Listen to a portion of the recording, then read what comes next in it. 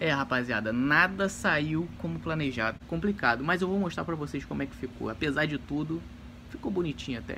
Oi, rapaziada, tranquilo? Seguinte, estamos aqui em busca da tinta perfeita, né? Não perfeita, mas alguma coisa que faça sentido ali na bike. Fui na, na bicicletaria aqui pegar uma tinta e não tinha nada de interessante, só tinha uma, tipo assim, ela me ofereceu uma, uma tinta que brilha no escuro. Porra, olhei pra cara dela e falei, tá de sacanagem? Pelo amor de Deus, brilha no escuro. Pô, como é que eu vou fazer isso? Imagina, pra, pra tinta fazer sentido, no mínimo, tinha que, tipo assim, tá no escuro. Se tiver no escuro, não vão andar de bike, pelo amor de Deus, né? Porra, não faz o menor sentido.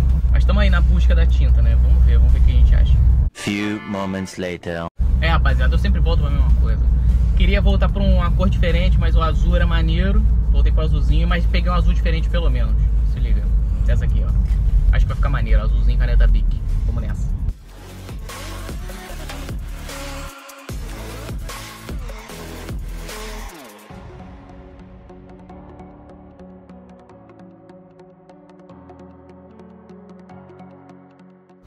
Pendurar o quadro aqui e aí eu vou começar a pintar. Lancei um preguinho, um nylon. Uh! Se liga. Tomar cuidado para não pintar o carro da moça aqui, né? Que vai ficar bonito.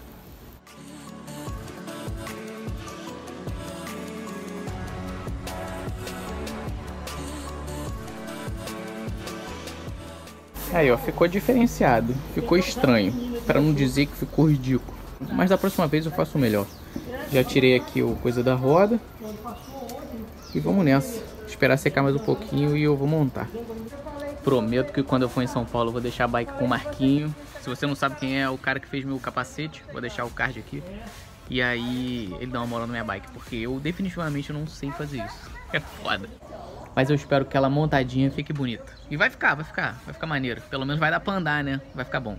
Eu queria mostrar pra vocês a bike de dia ainda, que ia ficar muito melhor. Mas o, a tinta não seca, cara. A tinta não seca. Já faz uma hora que eu parei de, de que eu acabei de pintar e ela nada, cara. Então ela tá aqui, a hora que eu conseguir montar, eu vou montar. E aí eu vou mostrar pra vocês lá na pista. Já é, vai ficar show. Aí, rapaziada, como é que ficou? Mais ou menos, né? É, rapaziada, nada saiu como planejado. Você viu o dia de sol que deu hoje. E eu crente, crente que é pra pista e choveu. Simplesmente choveu. Ia testar o pneu, não consegui pra mostrar pra vocês. Ia mostrar a bike lá na pista também. Não fui, né? Pô, fui pintar a bike, não secou até agora, não secou completamente. Fui limar os pininhos, não consegui direito. Fui deixar o quadro no, no metal, também não consegui. Pintoff achei que ia funcionar, não funcionou, como vocês bem viram e comentaram no vídeo anterior. Cara, complicado, mas eu vou mostrar pra vocês como é que ficou. Apesar de tudo, ficou bonitinho até. Ainda botei o efeito isolante no, no, no banco pra dar uma amenizada na situação, se liga.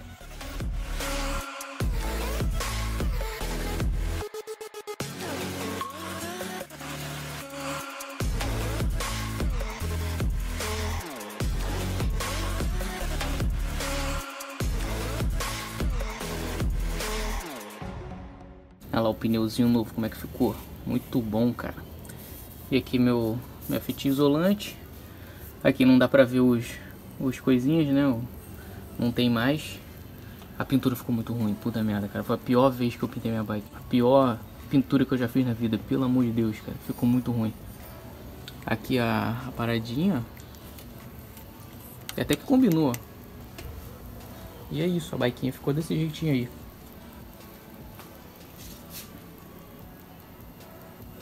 Espero que vocês pelo menos tenham gostado de alguma coisa, porque eu não gostei muito. Mas ficou bom, não ficou ruim não. Dá pra andar.